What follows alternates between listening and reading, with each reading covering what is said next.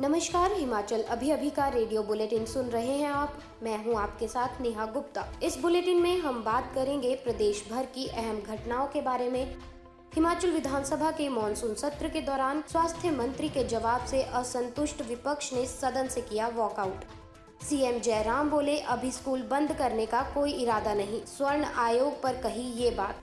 विधायक विक्रमादित्य ने सदन में उठाया सामान्य वर्ग आयोग के गठन का मामला। एचपीयू में एसएफआई और एबीवीपी कार्यकर्ता भिड़े, जमकर चले लात घुसे। चंबा में ड्यूटी से घर लौट रहे एसपीओ को दो भाइयों ने डंडे से पीट पीट कर किया लहूलुहान। हिमाचल में तीन दिन भारी बारिश का अलर्ट, नदी नालों से दूर रहने की दी सलाह।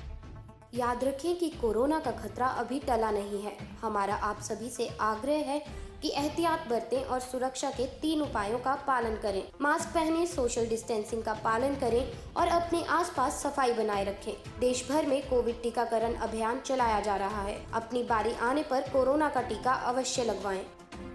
अब समाचार विस्तार से। आपके स्वास्थ्य का प्रहरी, श्री बालाजी हॉस्पिटल, कांगड़ा, हिमाचल। हिमाचल विधानसभा के मानसून सत्र में मंगलवार को सदन में स्वास्थ्य मंत्री के जवाब से असंतुष्ट विपक्ष ने सदन में जमकर हंगामा किया। इसके बाद विपक्ष के सदस्यों ने नारेबाजी करते हुए सदन से वॉकआउट कर दिया। वहीं सीएम जयराम ठाकुर ने विपक्ष के वॉकआउट की निंदा करते हुए कहा कि मंत्री विस्तार से सदन में जानकारी दे रहे थे और विपक्ष सुनने को तैयार नहीं था। सरकार ने कोरोना काल में बेहतर कार्य किया है। अस्पतालों में मरीजों को बिस्तर उपलब्ध कराए गए। उपयुक्त मात्रा में ऑक्सीजन उपलब्ध करवाई आई है। सत्ता पर रहते हुए कांग्रेस ने 50 साल में सिर्फ़ 50 वेंटिलेटर दिए थे। आज 800 वेंटिलेटर हैं और 500 वेंटिलेटर पीएम केयर फंड से मिले हैं। सीएम जयराम ठाकुर ने कहा कि हमने बहुत लंबे अंतराल के बाद स्कूल खोले हैं। स्कूलों को चरणबद्ध तरीके से खोला गया है। इसलिए तुरंत ही स्कूलों को दोबारा बंद करना जल्दबाजी होगी। वहीं उन्होंने कहा कि अगर हालात बिगड़ते हैं तो इस पर विचार किया जाएगा। प्रदेश में कोरोना के बढ़ते मामलों को लेकर कयास लगाया जा रहा था कि कुछ देर बाद होने वाली कैबिनेट की बैठक में स्कूल बंद करने पर विचार किया जा सकता है। लेकिन मीडिया से बातचीत के दौरान सीएम ने इस मामले में स्पष्ट किया कि स्कूल बंद नहीं होंगे। हालाँकि शिक्षा विभाग से स्कूलों में छात्रों के संक्रमित होने का पूरा रिकॉर्ड मांगा गया है।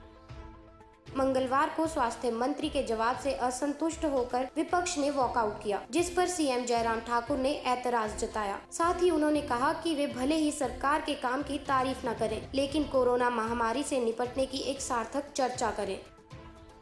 कांग्रेस विधायक विक्रमादित्य सिंह ने मंगलवार को हिमाचल विधानसभा सदन में सामान्य वर्ग के लोगों को आरक्षण देने का मामला उठाया। उन्होंने कहा कि सामान्य वर्ग आयोग बनाने की मांग हो रही है, जिससे वे लोग अपनी आवाज़ को बुलंद कर सके। उन्होंने कहा कि सामान्य वर्ग आयोग का गठन होना चाहिए और इसके माध्यम से इस वर्ग के लोगों की समस्याओं का ही समाधान होगा। जवाब में सीएम जयराम ठाकुर ने कहा कि ऐसे मसलों में राजनीति की तलाश भी होती है, लेकिन बात मुद्दों को सुलझाने की होनी चाहिए। जयराम ठाकुर ने कहा कि आयोग के गठन का मामला सरकार के ध्यान में है। इस मुहिम से जुड़े सदस्यों को संयम रखना चाहिए। स्वर्ण वर्ग के सदस्य उनसे भी दो बार मिले हैं। उन्होंने माना है कि जायज़ मामले उठने चाहिए। देश में दो ही राज्य हैं जहाँ इस आयोग का गठन हुआ है।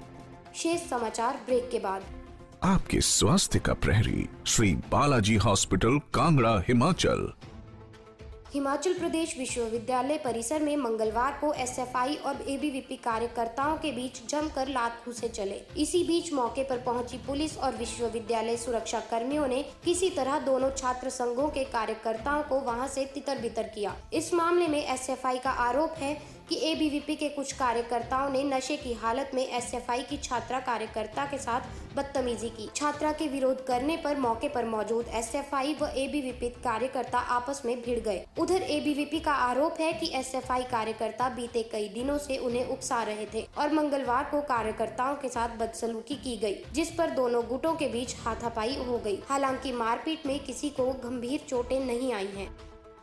ड्यूटी से अपने घर लौट रहे एसपीओ को दो भाइयों ने बीच रास्ते में रोककर डंडे से पीट पीट कर लहूलुहान कर दिया। एसपीओ किसी तरह जान बचाकर खून से लथपथ हालात में वहाँ से भागकर घर पहुँचा, जहाँ से परिजन उसे उपचार के लिए प्राथमिक स्वास्थ्य केंद्र तेल का ले गए। इसके बाद एसपीओ को उपचार के लिए चंबा मेडिकल कॉलेज भेज दिया गया। घायल एसपीओ की पहचान सुखलाल निवासी गाँव दिवाला पंचायत भजोत्रा के रूप में हुई है। सुखलाल ने बताया की आठ अगस्त रात नौ बजे जब वह सकोटी में ड्यूटी के बाद अपने घर जा रहा था तो दिवाला गाँव के पास यशपाल और प्रीतम ने उनका रास्ता रोक लिया। इससे पहले कि वे स्कूटी से उतरकर उनसे रास्ता रोकने का कारण पूछ पाते, दोनों ने डंडों से उस पर हमला करना शुरू कर दिया। डीएसपी शेर सिंह ने बताया कि एसपीओ के साथ दो लोगों ने मारपीट की है। पुलिस ने दोनों आरोपियों के खिलाफ केस दर्ज कर लिया है। पुलिस मामले की गहनता से जाँच कर रही है।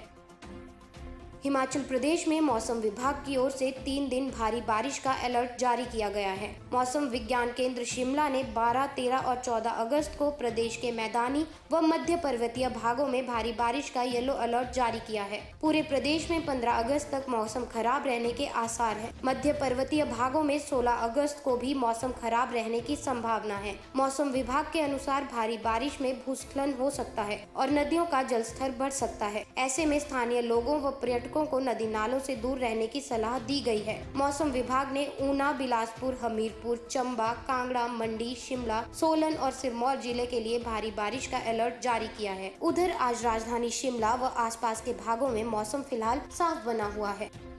इस बुलेटिन में बस इतना ही। नमस्कार।